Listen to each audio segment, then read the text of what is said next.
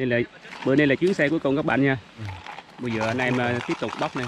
Giờ ờ, 4 giờ rồi hả? Bóc thì còn tiếng đồng hồ nữa. Trời ơi, tối nữa. Quay 4 giờ 25. 10 phút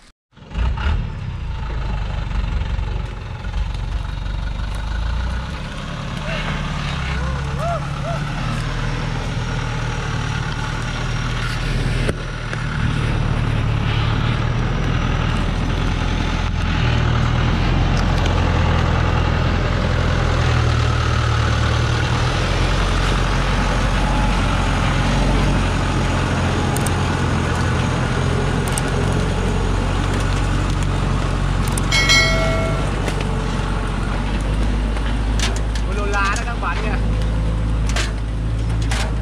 75 kg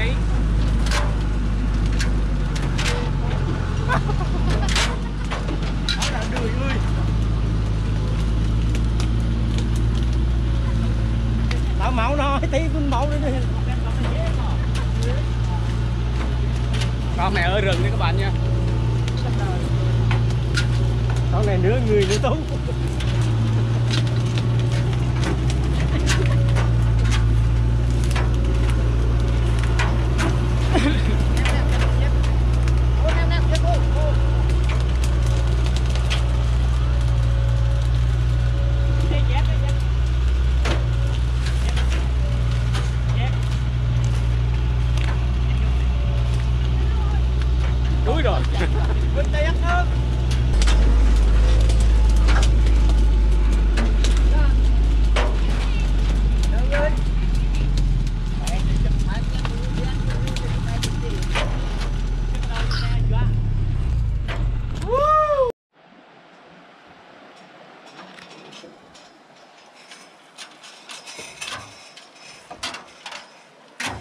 phía dưới là con suối các bạn.